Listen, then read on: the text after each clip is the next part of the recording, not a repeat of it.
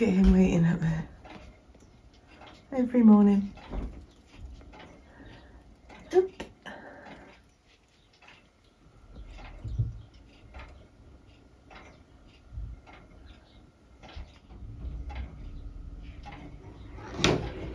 Good morning. Good morning. Right, Bella? Are you okay? Had a nice night on the tiles?